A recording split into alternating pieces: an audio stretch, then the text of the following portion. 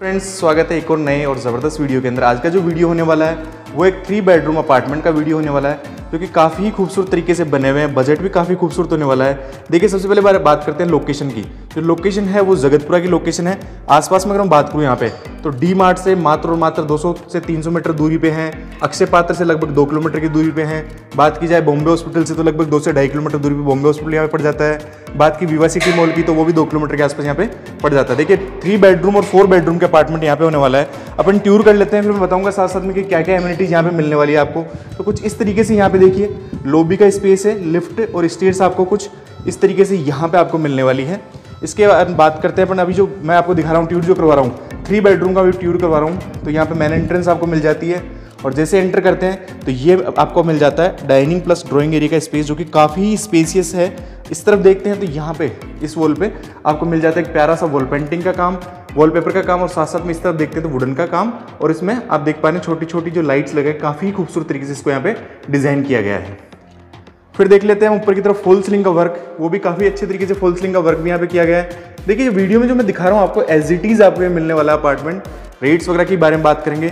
थोड़ा आगे बढ़ते हैं हम तो यहाँ पे आपको मिल जाता है टीवी पैनल का स्पेस जो कि वुडन का है और काफ़ी बड़ा स्पेस यहाँ पे टीवी पैनल का आपको यहाँ पे करके दिया गया है। इसके ऊपर की तरफ़ देखते हैं तो यहाँ पे भी फॉल सीलिंग का प्यारा सा वर्क आपको यहाँ पे दिखाई देने वाला है। डाइनिंग ड्राइंग एरिया के इस तरफ़ देखते हैं बिल्कुल सामने तो यहाँ पे मिल जाता है आपको किचन का स्पेस ओपन स्पेस में आपको किचन मिलता है यहाँ पे।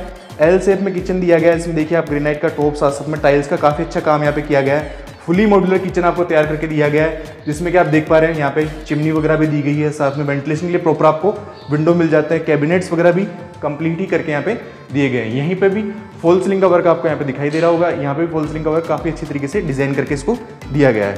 थ्री बेडरूम ये मैं आपको दिखा रहा हूँ। सबसे पहले इस बेडरूम को देख लेते हैं हम। तो यहाँ पे एक बेडरूम है। बेडरूम के साइजेस की बात करें तो लगभग 10 बाय 12 10 बाय 13 के आसपास की साइजेज आपको मिलती है।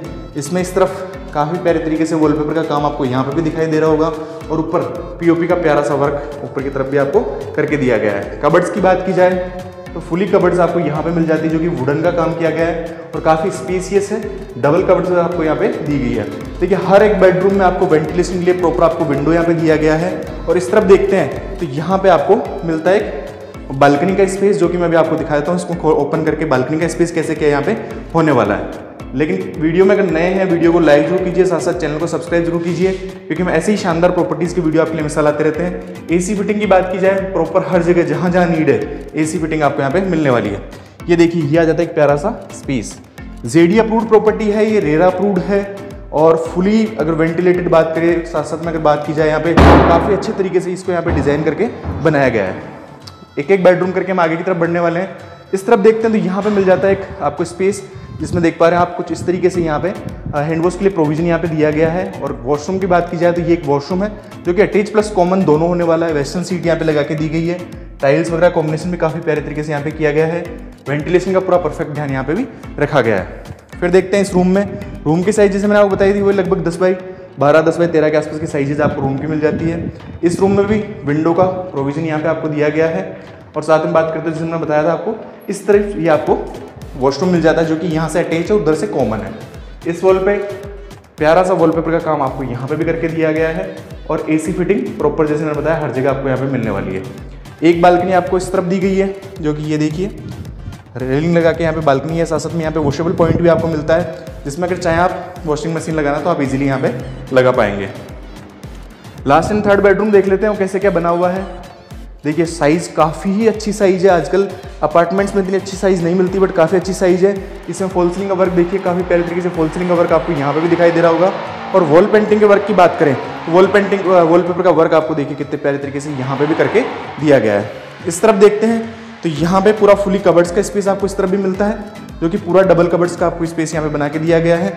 और वो एक अटैच वॉशरूम जिसमें वेस्टर्न सीट है साथ साथ में टाइल्स का कॉम्बिनेशन काफ़ी प्यारे तरीके से यहाँ पे आपको दिखाई देने वाला है। वेंटिलेशन पूरा परफेक्ट यहाँ पे बना के दिया गया है। और सामने भी यहाँ पे भी देखते हैं तो यहाँ पे विंडो का प्रोविज़न आपको दिखाई देने वाला है। देखिए साइजेस की बात करें हम तो साइजेस जो होने वाली है, वो होने वाली है 1200 स्क्वायर फीट से लेके लगभग बारह स्क्वायर फीट के आसपास तो टू थ्री बी की साइज़ यहाँ पे होने वाली है। अगर बात करें, यहाँ पे फोर बी भी अवेलेबल है। उसकी साइज़ की बात की जाए तो लगभग पंद्रह स्क्वायर फीट के आसपास की साइजेज आपको वहाँ पे मिलने वाली है। प्राइस की बात करें तो थ्री बी के बयालीस लाख से लेकर पैंतालीस लाख की रेंज में आपको मिलने वाले हैं। फोर बी की बात करें तो लगभग पचास लाख के आसपास यहाँ पे फोर बी के मिलने वाले हैं। पार्किंग वगैरह नीचे स्टील में आपको कंप्लीट करके दी गई है। लिफ्ट वगैरह का पूरा प्रोविज़न यहाँ पे 24 घंटे वाटर सप्लाई आपको यहाँ पे मिल जाती है। बिग साइज़ बालकनीज आपको यहाँ पे दी गई है। 90 परसेंट लोनेबल प्रॉपर्टी है। RERA approve JD approve plus side bags वगैरह कंप्लीटली छोड़ के बनाई गई है। गार्ड रूम वगैरह की फैसिलिटी आपको नीचे की तरफ़ मिल जाती है। बाकी चीज़ें मैं आपको डिस्क्रिप्शन मेंशन कर दूँगा। जो बिल्डर है, उनके प्रतिनिधि नंबर आपको डिस्क्रिप्शन मिल जाएँगे। वहाँ जाके डायरेक्टली आप उनको कॉल कर पाएँगे और अधिक जानकारी वहाँ से आप प्राप्त कर पाएँगे। मिलते हैं फिर एक और नए वीडियो में। तब तक के लिए नमस्कार।